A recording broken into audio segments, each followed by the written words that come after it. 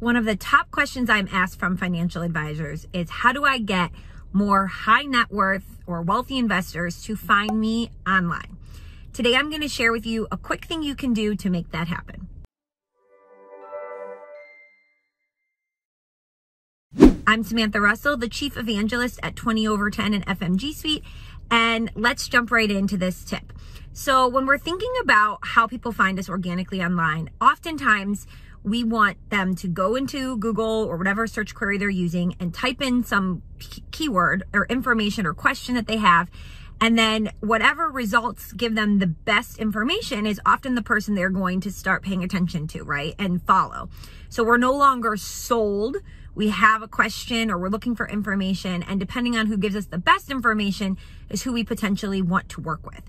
So when we're thinking about creating content though, you know, there's millions and millions of pieces, billions around all different kinds of content topics already. It can be really competitive. So the sweet spot we want to look for is when there is high interest from a high volume of searchers combined with a low number of existing pieces of content already. So let's take a look at this graph right here from the company Content Lead, which examined just this all around different topics related to personal finance.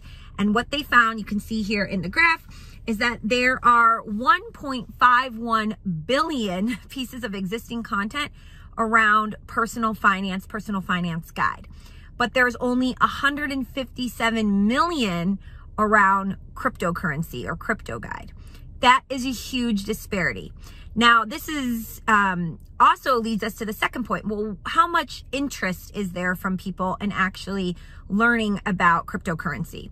Well, only 17% of US adults own crypto, but a 2021 um, New York Digital Asset Investment Group study found that 75% of respondents are interested in learning more. So here we go. We have high interest combined with a low number of existing pieces of content already.